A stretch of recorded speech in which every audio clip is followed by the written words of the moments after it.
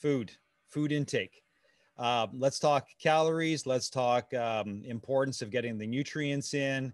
Uh, let's talk about food as probably the, one of the biggest drivers to losing body fat, keeping your lean muscle mass. What do we need to do with regards to all of those? Where do you want to start with it? Um, I mean, we can just start with calories. Now, back in the day of, of competing, you know, this is this is what we did. We tracked all of our calories, we tracked all of our macros, you know, and there is a certain degree of importance to that. I think over time I have I've shifted a little bit away from that and have started focusing a little bit more on the hormonal component to all of this.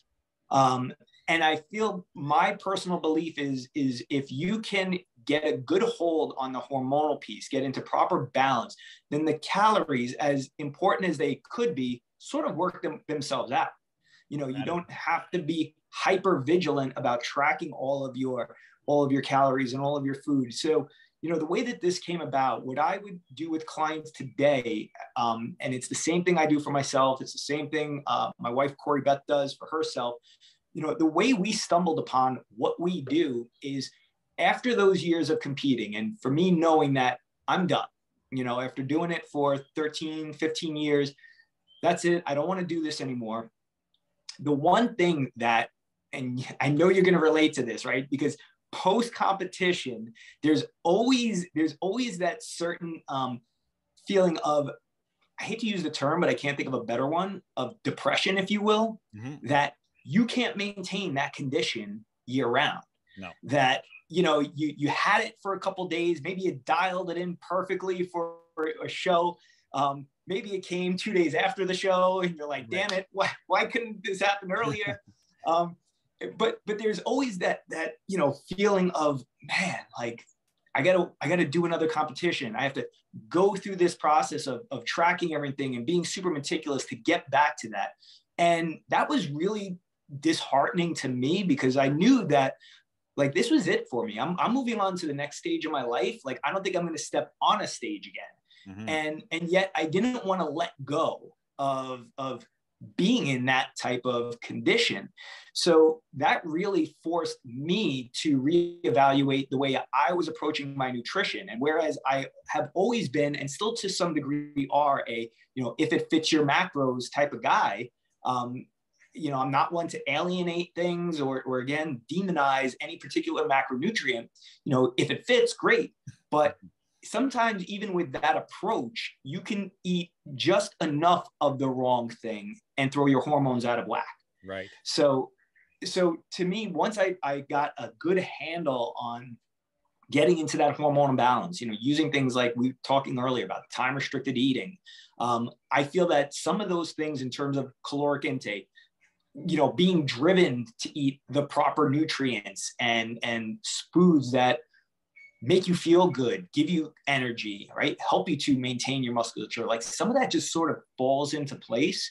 And that's where I'm at today. I mean, I do not count anything, um, maybe except my protein. That is the one macronutrient yeah, interesting. that I am hyper vigilant about making sure that I am at least close to what I would consider my ideal range.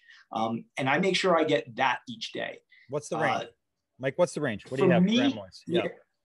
For me, it falls somewhere between about 125 and maybe 150 grams of protein per day. Okay. Um, and that's that's based on my size, right? I'm not exactly. a huge guy by any stretch, so so I don't need a ton. Um, and then I'm filling in the rest with you know high quality fats, mm-hmm. uh, and then I sort of leave carbohydrates last. But um, you know, even when it comes to those, I, I'll be I'll be conscientious of, hey, how might this affect my blood glucose and my insulin? Uh, because I know how I feel if I have those things or when I have them. So, you know, I'm still a carb eater, right? I'm not one of these guys who said, oh, I'm, I'm getting rid of carbs, but but I also tend to backload those on my day because early in the day, like I feel good not operating out of carbohydrates and such, which give me the little bump, but then too much of a drop. So I've learned over time to just manage it. All right. Um, you are, I mean, you're very good with your numbers. You're very good with your uh, your knowledge of uh, intermittent fasting. There's a lot of people who hop on the intermittent fasting bandwagon. And the reason why they're successful for the most part is there's now a structure to their diet. They're not eating all the time. They've got a window that they eat and they're starting to see progress, but you've taken it to a completely different level. What's your what's your window and what does it look like meal wise? So I typically have about an seven to eight hour eating window. And then that leaves me with, you know, maybe a 16 to 17 hour uh, fasting window.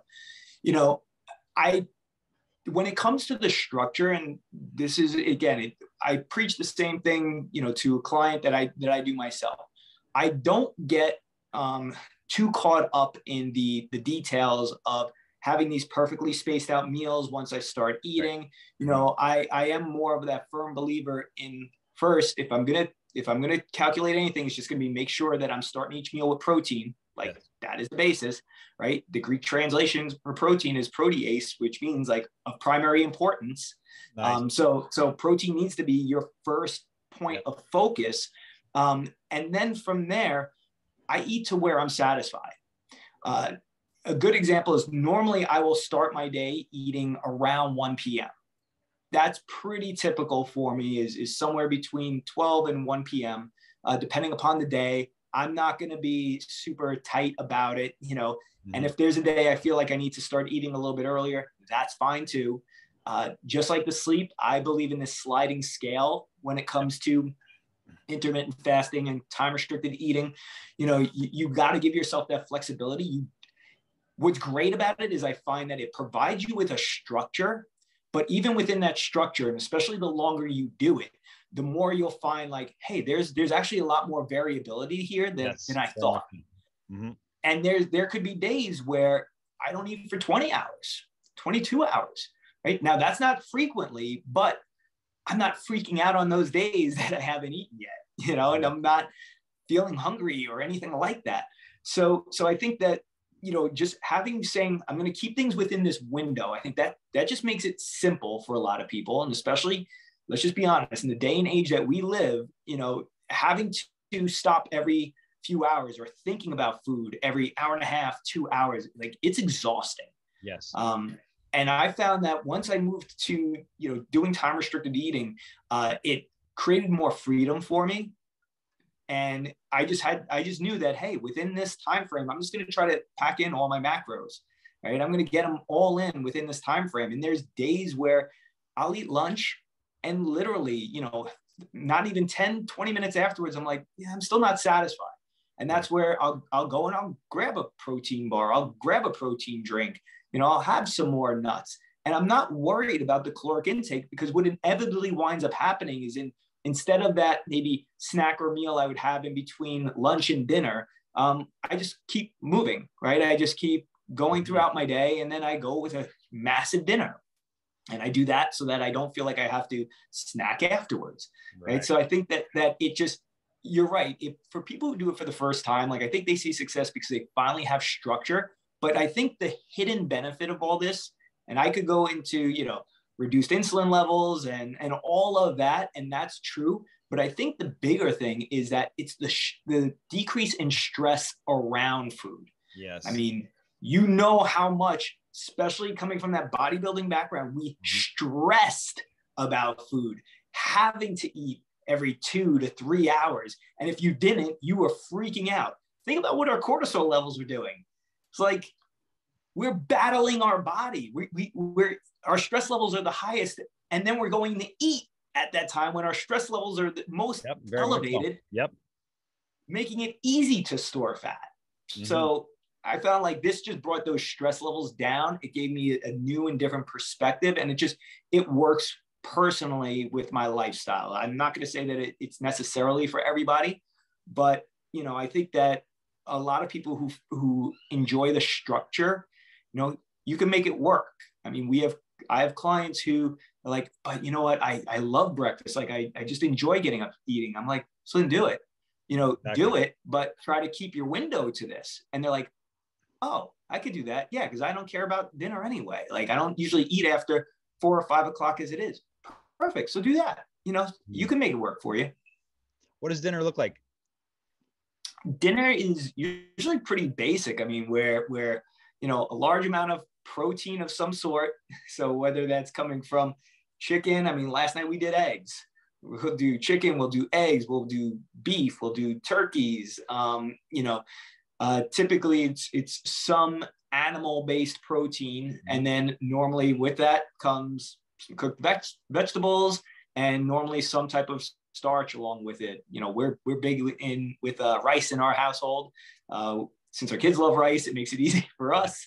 Yep. And so, so we'll make a bunch of rice, and that's where I'll get my day's portion of carbohydrates. Is typically when I sit down for dinner.